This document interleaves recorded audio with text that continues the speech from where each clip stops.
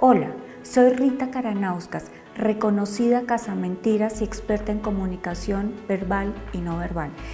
Y hoy estoy aquí, en la Cruz Roja Colombiana, ayudando a ratificar la verdad acerca de la donación de sangre. Eso es un mito, es falso. La verdad sobre la donación es que no engorda y tampoco adelgaza. Uno se aumenta de peso, ¿por qué? Porque consume más calorías de las que quema y eso no tiene nada que ver con la donación de sangre. Cuando usted dona sangre, a usted no le están inyectando nada, al contrario, a usted le están sacando menos de medio litro de sangre. Es más, hay estudios que dicen que cuando usted dona, quema hasta 650 calorías. Así que, mito. Mentir nos causa miedo. ¿Qué señales da el miedo en la cara y en el cuerpo? En este caso no hay ningún tipo de tensión en su cara, su cara es perfectamente simétrica, su cara está redondeada en este momento.